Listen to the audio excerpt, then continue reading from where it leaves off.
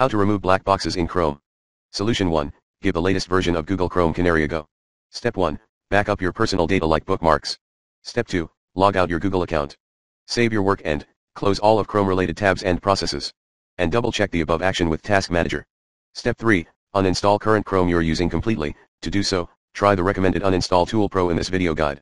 Step 4, restart your computer whenever you're ready. Step 5, pay a visit to the below page at https colon slash slash www.google.com slash chrome slash browser slash canary.html. Run the download as the admin user. Solution 2, toggle the following setting at chrome slash slash flag slash hashtag disable slimming paint. And update to chrome to the newest build. Solution 3, if you are recently having this issue. You can also try to resolve the issue by following these steps, go to settings by typing chrome slash slash settings into your URL bar. Then uncheck use hardware acceleration when available at the bottom of the page. Moreover, if your GPU, graphics processing unit, driver date listed in Chrome GPU is old or outdated, see if just updating it fixes the thing. Solution 4, 1. Ensure you've restarted your device slash computer after you install Chrome Update. 2. Check if the issue is persisting on a different browser as well. 3. Check if the issue is specific to some or only one website or any other website that you're trying to access on Chrome. 4. Check if the issue persists on incognito mode, Control plus Shift plus N, as well.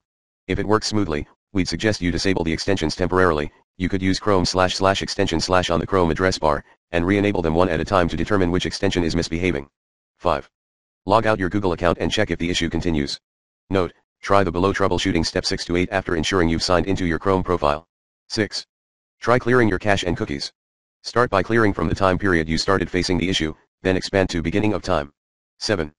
Reset Chrome settings to default. 8. Download and run the Chrome Cleanup tool at https colon slash slash goo.gl slash od9nom. Malwarebytes anti-malware, free version, and the recommended Avast Internet Security in this video guide so you can detect and remove unwanted programs even malware affecting Chrome. Reboot your system, and check if it helps. 9. If you're using an antivirus or firewall software, ensure Chrome is trusted or allowed by these programs. Additionally, you could temporarily disable your antivirus or firewall to see if this resolves the issue. Refer to the below images. 10.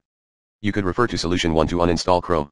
And then, install it using the offline installer at https colon slash slash goo.gl slash fbu8qb. Stable version of Chrome. Solution 5, check if you still face the same issue when you add a new user to Chrome as well. Quit Google Chrome completely.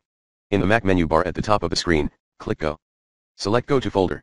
Enter the following directory at slash library slash application support slash Google slash Chrome slash in the text field, then press enter. Locate the folder called default in the directory window that opens and rename it as backup default. Try opening Google Chrome again. See related instructions at https colon slash slash goo.gl slash 9kbfsb. Other voices, 1. Reset the settings on Chrome slash slash flag slash.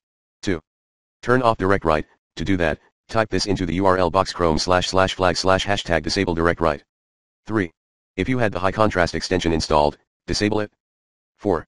Report the issue re black rectangular boxes you're facing.